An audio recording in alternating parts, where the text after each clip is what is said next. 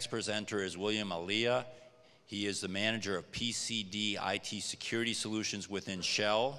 He is a mechanical engineer with 20 years experience working cybersecurity across a number of industries. And he will present a case study, Shell's focus on core security controls. Please welcome William.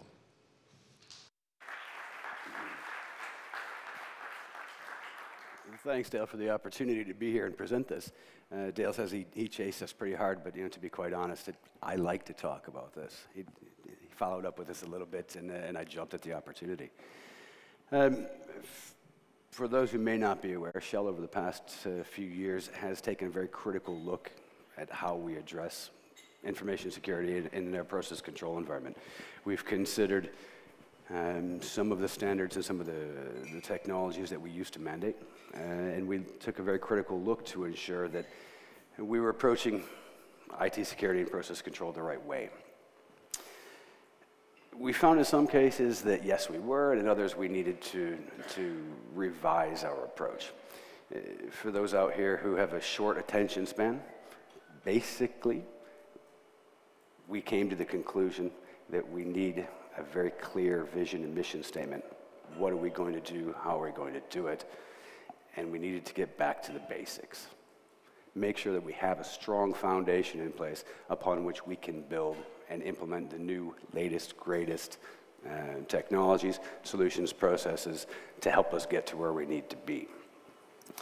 Now, for people with a longer attention span, I've got a whole slide deck here I'll walk through, and we can uh, talk about some of the things we learned uh, over the past three years of, of executing this overall uh, program and over the past year and a half of deploying into all of our uh, assets, upstream, downstream, varying uh, requirements, varying degrees of, uh, well, varying appetites for consumption. So I, I want to start out, of course, with a summary of the entire presentation if you can read that. Uh, quite simply, this is uh, standard legal information letting you know that yes, we are being very open here. We're letting you know what we've seen that works and doesn't work. Um, so please be aware that uh, uh that openness does come with its certain responsibilities. Okay? Um, I want to start out talking about FUD. I'm very pleased to hear, and yesterday in the, the introductions this morning, we're not all talking about FUD. It has its place. It raises awareness. People understand that there is a threat out there. It doesn't just go away because you put a firewall in. But at the same time, it's not a valid way to sell your business case, especially in an engineering environment you will be met with, yes, that sounds scary, but it hasn't happened to us. We're talking about engineers. We're talking about very practical people. Uh, they don't stay awake at night because they've watched a zombie apocalypse movie, right? They understand that that zombie apocalypse is not going to come out of the screen. It's not going to destroy their process control environment, their industrial automation control systems.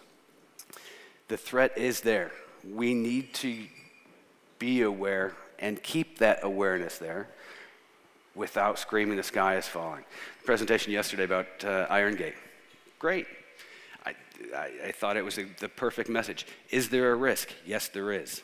Is it the next thermonuclear explosion initiated by a nation state? We don't know. Let's not say that it is, and let's not start screaming the world is coming to an end. Okay, you may think, well, it's Shell. You have lots of money, you have lots of people, you can do whatever you want. Where's the challenge for Shell? Quite obviously, there are a number of challenges. Just that size in itself brings the challenges. When we talk about where we're operating, we talk about the differences between upstream, downstream, trading, um, how it's different operating in Gabon versus the Netherlands. There's some very different challenges. And the, the controls and the standards that we put in place must be able to cope with all of those. We must be able to, to move forward in all those different areas. Um, again, there are differences between upstream, between downstream, between trading that we have to be able to make sure we can hit a minimum security level across those organizations, and we can measure that in a standardized way without putting too much burden on any one of those lines of business. Um, obviously, uh, as we go through the different organizations, the level of governance, the style of governance uh, differs greatly, and the suppliers that we have involved are different. And some of the suppliers that are representing here today, well, all the suppliers that are representing here today and yesterday, we work with uh, in a very proactive and effective way. We don't call up and say, hey guys, uh, maybe we're going to have a problem sometime in the future. We work with them now to make sure that we don't have that problem in the future. Uh, they've been amazingly cooperative in making sure that we can progress in that way. Um, we do realize there's a difference between engineering and IT. Uh, during the panel discussion yesterday, you know, the message was, hey, if IT companies want to adapt with us, wonderful, let's work together. Right? And that's the same, same message that, that we will bring forward. An IT company says, we know better than you. We know how this works. You don't. Well, maybe we'll give you that half hour presentation, but we're not going to call you back. Right? Listen to us. We know our business. Your tools, your solutions are there to help us with our business. They are not there because they're cool tools. Um, and of course, we have devices around the world in some of the most challenging places to get to.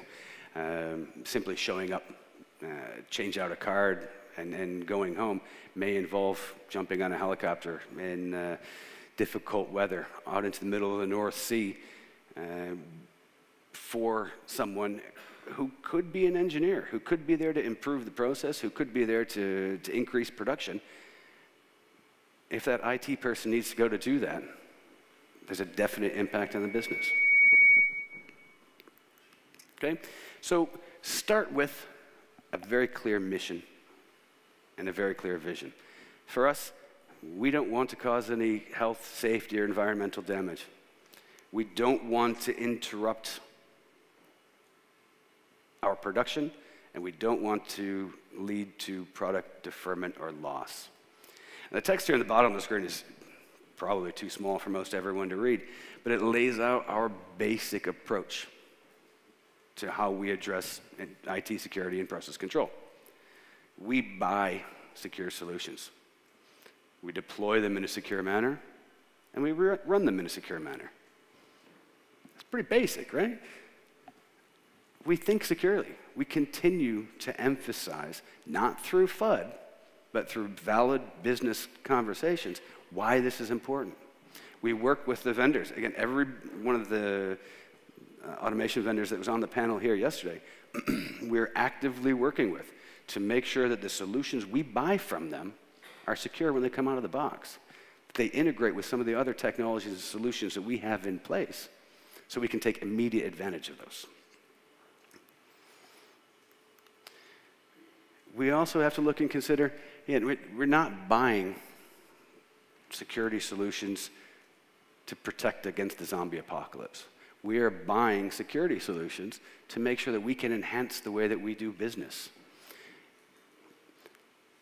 We are looking at unmanned, demanned operations. We're looking at operating in some of the most difficult uh, regions in the world. Geopolitical reasons, simply uh, the, the challenges of getting the right resources there. What we need to emphasize is that we are approaching PCD IT security from the angle of opportunity.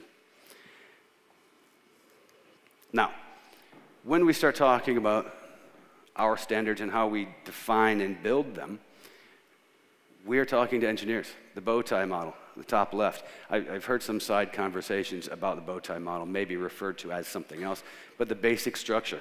Uh, with a, with a top event, what's really going to happen? What is that security threat? On the left-hand side, we've got some, some controls to stop, to make sure that threat doesn't come to fruition. On the right-hand side, we've got other controls to make sure that if it does happen, how do we limit that impact?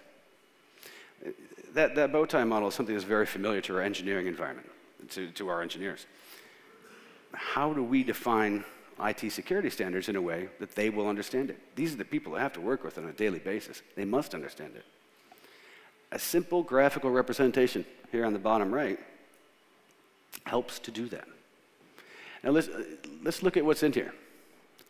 A lot of the things that we heard about yesterday, maybe it was a passing comment, maybe it was, uh, we investigated a little bit, but let's talk about workforce development, making sure that we have the right people in place, change management, making sure that as we progress in this journey that we're all taking together, we do it in a way that is sustainable. We know what's there.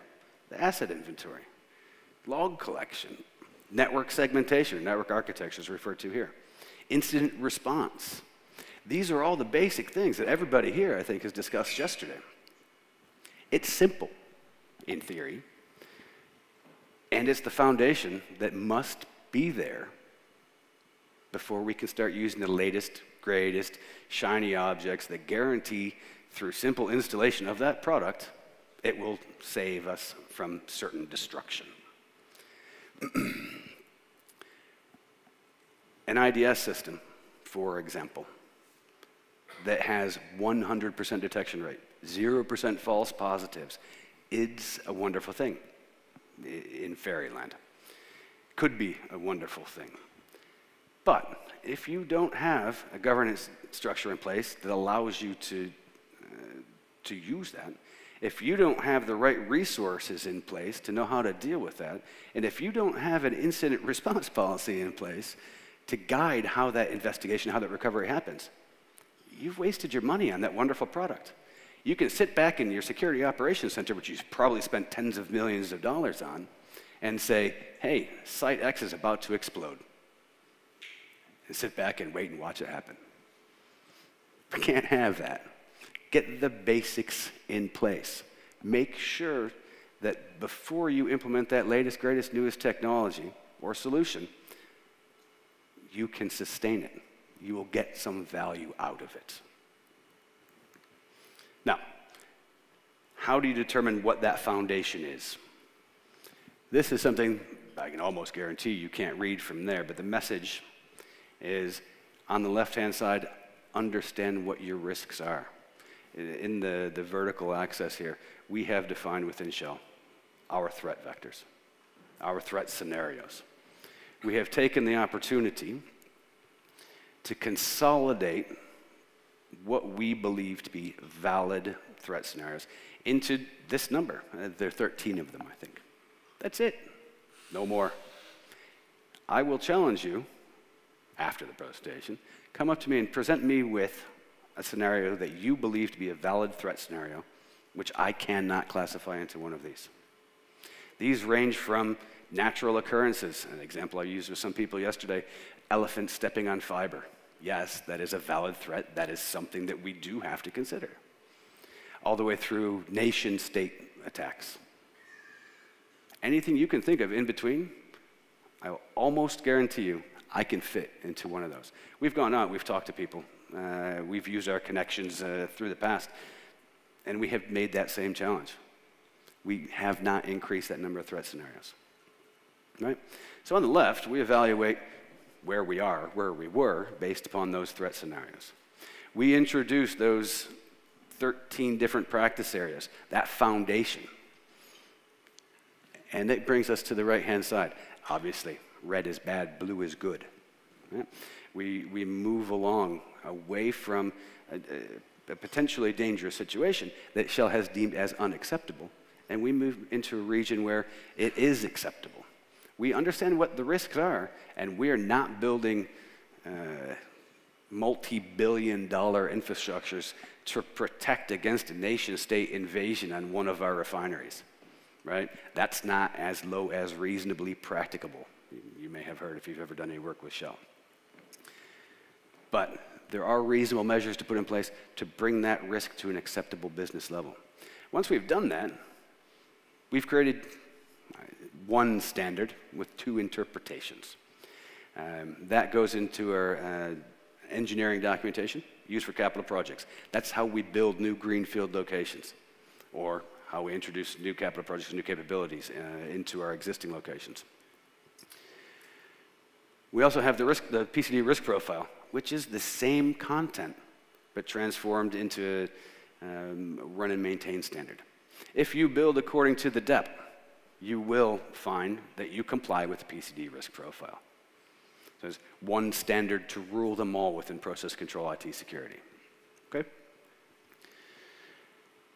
A big part of this, obviously, and we've talked about making sure that awareness is there, our workforce is developed into uh, an effective workforce that can deal with the standards, the technologies, the processes that we have in place. Um, this is where, again, Shell may have the advantage. When we create some of these materials, the, these awareness materials that get out into the field, we can spend a little bit of money on that, right?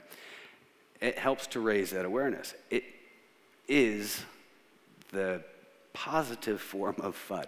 We're not trying to scare you. We're just trying to make sure that you are aware what those risks are and the basic steps that you need to take care of to uh, remediate those risks. We've also developed a quite comprehensive standard for our workforce to make sure that every role that's involved in process control IT security, to make sure we and they understand what's going to be expected of them. What level of skill do we expect them to have in different areas? We know these people are in our engineering environment. They were generally hired because they're good engineers. We need to make sure that they are also good PCD IT security practitioners. These standards uh, within the workforce development help to move them in that direction, help to make sure that we have that hybrid skill set between engineering and IT security. That's what we need. In order to do that, we work together with a number of different uh, people in the industry to come up with the GICSPA certification. Now, that's not the be all end all certification that guarantees that everyone you're working with uh, has superpowers and is capable of dealing with any security uh, situation in process control. But it is a certain level of assurance that they do understand the engineering world and they do understand some of the threats and the, the ways to work in process control IT security. So once we've had that in place, we have the opportunity to look at how we can facilitate some of the activities we need to undertake. We could do that by building tools that support those standards. Now, I'm not, to, I'm not going to try and build a tool that does everything. If it ties my shoes for me in the morning and makes me a cup of coffee while it does that, I have over engineered it. I've built something that is not useful. We've worked a number of uh, partners in our areas. Some of them are here, some of them are sponsors. To come together and build what we call Secure Plant, has gone out into the market as Secure Ops. It provides us with coverage in these technical areas within our risk profile. It is a tool that is built to support the risk profile. It is a living tool as it is deployed out in the field, we listen to our engineers, we listen to the users, we listen to the vendors who use this tool to gain remote access into our process control domain. The requirements come back in, we evaluate, determine if it makes sense. Does it fall within the security realm? And should that be moved forward to our partners to make sure it gets incorporated into future versions? And that's a wonderful thing to have a tool to help facilitate enforcement of our standards. Now, the engineers out in the audience, it doesn't exist unless you can see it, unless you can measure it. That's where plant check comes in. That, that's our sister component to, to Secure Plant. Plant check actually takes some of the information out of Secure Plant and uses that to measure the uh, organizational maturity and compliance associated with the standards. It goes beyond that, and it implements a, a way to measure the operational effectiveness of some of the non-technical components as well. Our governance, our workforce development, our management of change. It's great to have a document that says this is how we're going to do it, and for that document to be a good document, but if you stick it in a, in a drawer, you never look at it, and you don't follow it, it's useless. So we also need a way to make sure that it is being, that our operations are being handled in that way so that they can be effective. That's what the plant check tool helps us to do. Now, what did we learn? Quite a lot, right? This is, this is the, the longer version of my summary in the beginning. We have to have a clear vision, mission, and strategy. Without it, you can stand up in front of people, you can talk about whatever you want, but you have no way to ensure you are delivering what you need to deliver. Simplify, standardize, focus on getting the basics right. That is your foundation upon which you or your clients can build upon. Again, if you don't have these things in place, it doesn't matter what technology you buy, it won't work. Concentrate on the basics and then start looking at the latest, greatest technologies for implementation. Apply those basics throughout the entire life cycle. Again, buy, deploy, run, secure. Is there any particular reason that that can't happen? Should those different stages be addressed in very different ways? No. Work with your vendors up front so that when you buy it, you know it does what you want it to do the way that you want to do it. Deploy it in a safe manner. Don't cave to the pressure of it just needs to get done today. Make it happen, and then we'll worry about security later. Right? And of course, run it in a secure manner. This comes back to all the management of change, uh, the, the workforce development, etc. If you do it this way, when people challenge you and say, Why does it cost this much? Why does it take that long? You will be able to fall back on facts. You'll be able to fall back on information that you have previously reviewed, agreed with that line of business, with that client, that that is the way to go. You don't have to rely on the, the next Stuxnet coming out in order to get that money. Um, when you move forward with your standards and how you're going to implement them, bear in mind that yes, you can direct how a risk should be mitigated, or the outcome of that, but it doesn't necessarily give you the ability to dictate what technology or what process is used to do that. If your line of business implements, if one line of business implements technology X, second line of business will implement uh, process Y. If they both reduce risk to the level that you have deemed acceptable, or your overall organization is deemed acceptable, fine.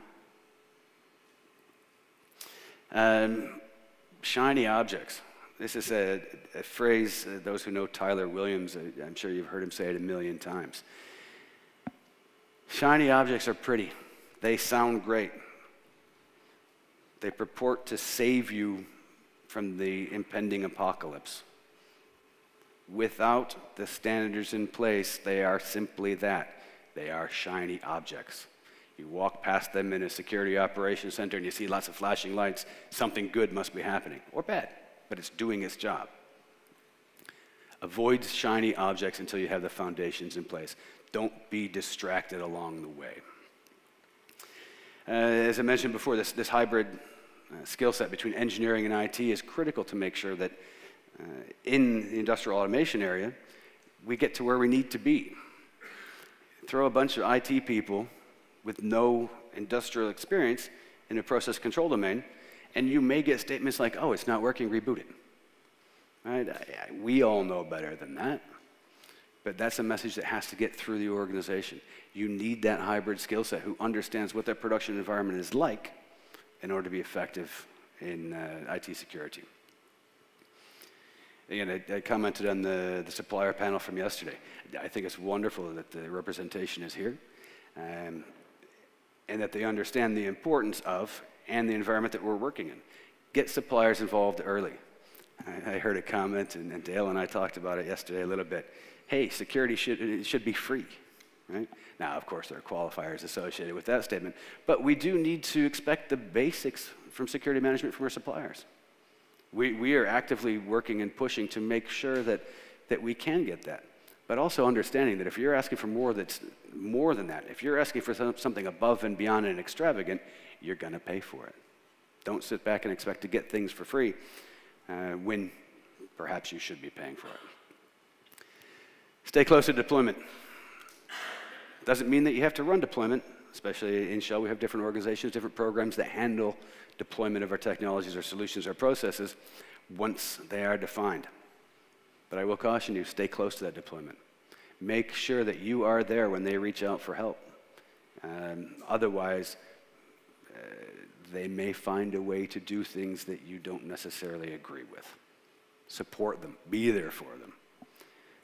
And, finally, take that opportunity to loop back. Look at what you've done and be very critical.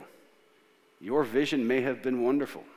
Your direction, your solutions may have been perfect in your mind at the time. Take the opportunity to look back and make sure that you are gaining something from that. Make sure that you are delivering value to the business and it's not just another technical exercise of deployment. Okay. Thank you. And I think at this point, uh, we'll take some questions.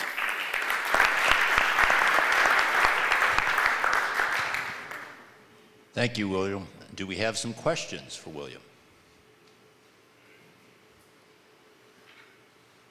Well, you let me off easy on a Friday morning. Well, I'll, I'll start out with one. Uh, so some of the security control areas you were talking about, you know, definitely weren't shiny objects. They weren't necessarily technical objects, um, like management of change or security, I guess, workforce development and that.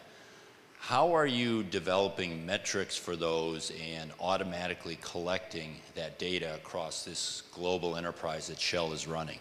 Right. Well, the, the, metrics are developed quite simply um, in a way that we can measure, as I've said before, uh, that a standard is in place to make sure the operations run in a certain way.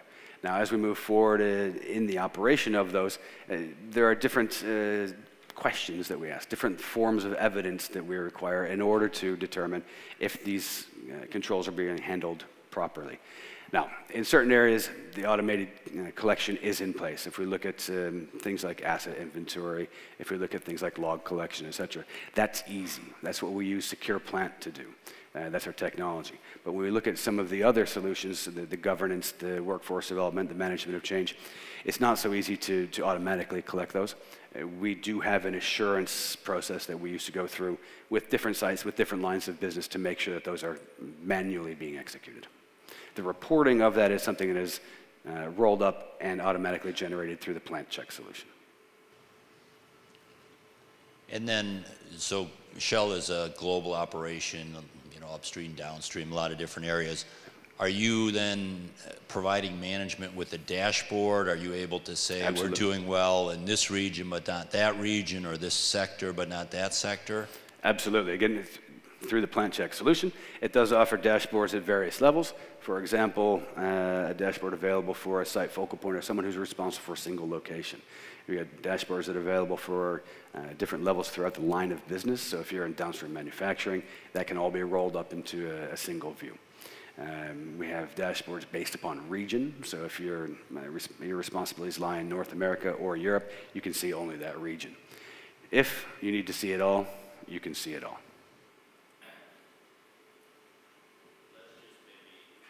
Uh, let's explore one other area. So you, I, I, heard Tyler talk about this a little over a year ago, and I know Shell had been working on it for a while before that. What is one of the areas that the metrics or your experience with this program resulted in a significant change in approach? You know, was there one of the 13 core security controls that you said, we need to do this a different way, or, or some major lesson learned now that you've been doing this for a couple of years? Well, you, actually, and to be quite honest, most of them, right? We're a bunch of smart people sitting in the center who think we know everything. The sooner you get into the real world, you discover you don't. Uh, the feedback that we have from uh, our lines of business, from uh, technical uh, contacts per location, uh, has been invaluable in updating what that standard is, how the standard is used, um, evidence that is required in order to, uh, to prove that we are being effective in the different areas. So it's, it's an everyday journey to develop and evolve in a structured manner what those standards are, how we measure them, and how that uh, is represented back to management. Okay, last call for questions. Okay, thank you very much, William. Right, thank you.